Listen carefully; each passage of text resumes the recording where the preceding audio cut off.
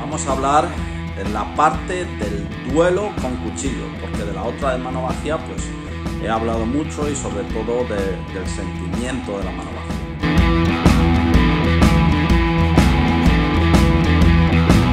Vamos a hablar ahora sobre los duelos, porque cada vez eh, se están dando más eh, este tipo de trabajo, de duelo, y también ciertas competiciones de cuchillo. Y con esto soy muy crítico. No quiero decir que no se hagan los duelos de cuchillo, pero sí soy muy crítico. ¿Por qué? De momento un duelo de cuchillo es una cosa bastante rara. Pero sobre todo en la concepción de lo que es el duelo de cuchillo y el sentimiento. Y cuando hablo de sentimiento, esto es una de las primeras cosas que todo practicante de artes marciales y de armas, obviamente, debería de tener siempre en lo más alto, junto con la técnica que hagas y con la práctica. Pero en esto sí que soy muy crítico porque mira, eh, depende del enfrentamiento en el que estés, pues tienes un sentimiento u otro. Obviamente, por ejemplo, cuando haces mano vacía, pues eh, tienes el sentimiento de que vas a recibir golpes, te van a doler y demás. Pero dentro de las armas, el feeling se dispara por 10. Cuando tú estás haciendo un sparring con mínimas protecciones, con palos, tú tienes el sentimiento y la adrenalina de es que me puedo romper algo, es que me puede doler, etcétera, etcétera. Luego, por ejemplo, dentro del caso de la esgrima histórica o los que hacen con armas de acero, tú aunque lleves un chalequillo y un casco y tal, el sentimiento del acero, aunque no sea 100% real, como siempre, está ahí porque aunque vayas protegido, una punta te hace un cardenal y un tajo, un revés bien dado en la oreja, vamos, a mí me ha, llegado a veces a, tener hasta la oreja morada, ¿eh? de varios tajos con el sable o con la ropera. Incluso con la mano y media no te digo nada. Entonces, ese sentimiento lo tienes de que no te toque, un sentimiento más aproximado al combate. Pero dentro de los duelos de cuchillo, yo lo veo más. Y, todo lo que estoy viendo en internet, salvo algunos, lo veo más como un intercambio de habilidad y eh, velocidad.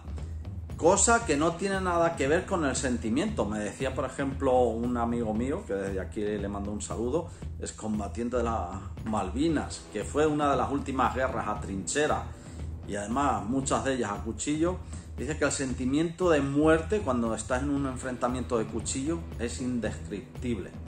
Y eso, eso por ejemplo, es muy difícil reproducirlo incluso en competiciones, aunque tengas estrés, aunque tengas adrenalina. Es muy difícil porque tienes cuchillos que realmente no hacen ningún daño, simplemente es a ver si te toco, a ver si me toca, etc. ¿Qué diferencia hay? Entre trabajar con una simulación de cuchillo de plástico, de madera dura, de lo que quieras, con esto que te voy a mostrar. Con esto, como dice otro de mis profes, como llevar una banana. ¿Qué más da? Lo puedes hacer con cualquier cosa.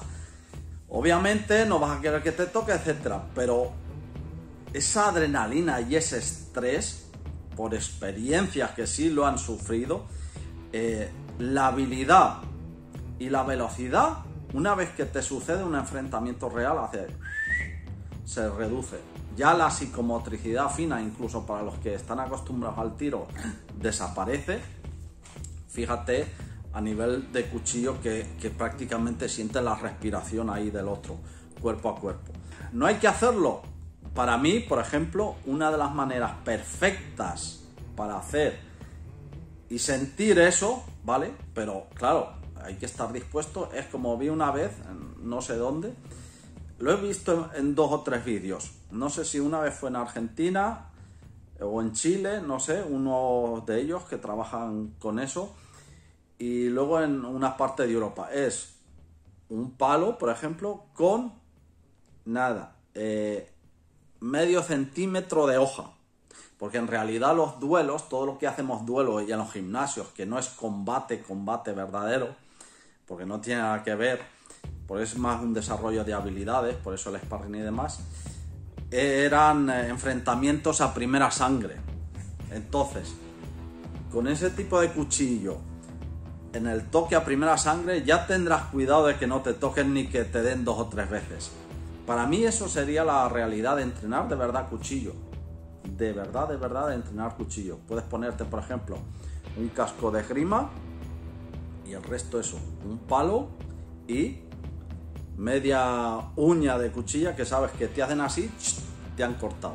O te pinchan y no penetra más de medio centímetro, menos todavía, o sea, lo justo. Ahí sí que sientes el feeling de que esto me puede cortar, porque es como casi navaja de afeitar, ¿vale? ¿Que se pueden hacer los duelos? Obviamente, pero no pensar que estás entrenando una realidad, porque la mayor realidad que hay en los enfrentamientos es el sentimiento que se tiene de combate. Hace eh, poco, pues eh, junto con otro policía que, tenemos eh, dentro de, lo que es la organización y demás, le decía a este hombre, digo, le, le pregunté, le pregunté, dije, ¿qué es lo que más destacarías tú a la hora de un enfrentamiento a cuchillo o cuerpo a cuerpo? cuando ya estás muy cerca del enemigo. Dice, y me dijo, no es la habilidad, no es la velocidad, no son las técnicas, sino el que mejor esté preparado mentalmente. El que mejor esté preparado mentalmente para soportar el estrés y, esa, esa espera de enfrentamiento. Y esto era lo que os quería decir sobre los duelos de cuchillo que hay que hacerlos, obviamente, pero lo mismo da tener un palo de madera que llevar esto en la mano. Palo de madera, como puedo decir, de goma, etcétera, para poder apuñalar eh, fuerte, obviamente. Pero cuando hay un duelo y realmente las hojas son de verdad, no hay intercambios como los que vemos en los duelos. No hay intercambios, o sea, el mínimo error es fatídico, es fatídico. Demasiados intercambios en los duelos, demasiado poco sentimiento de que te juegas el pellejo con ello. Y con esto que os quería dejar, tener en cuenta sobre todo el factor psicológico de todo, de todo. Y espero que de una vez por todas esto también os ayude a la hora de entrenar. Porque si no, como eh, siempre digo en los vídeos anteriores, eh, las teorías estas nos llevan a la imaginación que nos lleva a la fantasía y empezamos a crear películas de superhombres dentro de nuestra cabeza. Bueno, recuerda, tenemos un canal dentro de Telegram público donde publicamos cosas prácticamente a diario.